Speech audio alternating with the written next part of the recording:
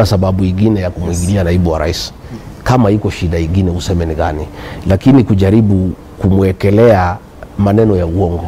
Na ni maneno ambaye ni ya kuhuzunisha sana, ya kwamba siku nilikuwa namsaidia Deputy President then William Ruto akuwe rais wa Jamhuri ya Kenya, nilikuwa mimi naekelewa mashtaka ya uongo nikimsaidia. Sasa tena imerudi Rais William Ruto akiwa kwa kiti, ati mimi tena niwekelewe maneno ya uongo ya kunihujumu mimi. Lakini mimi na mwamini sana Mwenyezi Mungu, na mimi na mke wangu tunaomba sana na watoto wetu, na mambo ambaye iko ambaye inaendelea, ukweli wake utakuja kujulikana. Lakini mimi ningeomba kama itawezekana kama Rigathi Gachagua atawekwa kwa msalaba, Yes. Asiwekwe na wabunge kutoka bonde la Ufa, kwa sababu iko swali watu wa kwetu nyumbani wanauliza, watu ya Mount Kenya. Wananiuliza, wewe mtoto wetu ulisimama na Rais William Ruto akiwa katika shida mingi sana, Yes.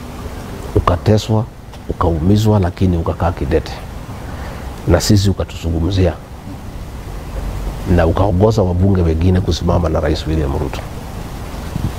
Imekuwaje naibu wa spika ameita mkutano kusema wewe lazima ufukuzwe uende nyumbani, na yeye mwenyewe atasimamia katika bunge na kuhakikisha umefukuzwa.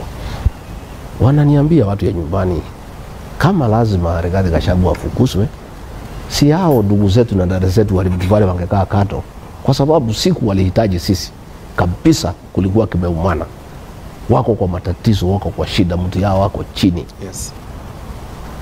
Sisi tulisimama na yeye na wabunge wetu wakati huo, hakuna alimtia alama Rais William Ruto. Wananchi wote wa Mount Kenya walisindikishwa na Uhuru Kenyatta waachana na William Ruto, wakakataa. Sasa watu ya nyumbani wanauliza, hawa ndugu zetu na dada zetu tulitengeneza urafiki na hawa, ni mwaka miwili tu mbona hao ndio wako kipaumbele. Deputy ya kuumiza wewe? Umeongelea sana eh, President William Ruto. Sijui eh, msimamo wake ni upi kwa hii? Mimi- mimi- mimi- kuhusu mambo ya Rais. William Ruto, siku nilimuuliza hiyo maneno, nilisikiza kwa umbali, alikanusha na akanihakikishia ya kwamba hawezi kubali maneno kama hayo. Lakini sasa ile kitu inashangaza ni ya kwamba wabunge wa Rift Valley ndio wako kipaumbele kuchukua masignature kusema wanataka kunifukuza kwa kazi, na watu wa Mount Kenya wanauliza, wewe mtoto wetu ulituambia huku adikaniana chochote na Rais William Ruto kwa sababu unamwamini na unaamini watu yake. Imekuwaji Rais Uhuru Kenyatta alipatia yeye nafasi mwaka tano wafanya kazi bila kusumbuliwa. Imekuwaji wewe mwaka mbili umeanza kupata matatizo? Lakini ile inawakera sana sana ni kwamba wabunge wa Rift Valley ndio wameshika shoka ya kunipasua kichwa. Je, unaona kuna wanauliza- msukumo, kuna msukumo from President? Mimi sijui sasa, ni ile swali tu because na wameniambia niulize watu ya Rift Valley, Yes. na swali watu wetu wanauliza ni hii, wanasema ile tatokea ni sawa, sisi tutakubali kwa sababu sisi hatuna uwezo. Yes.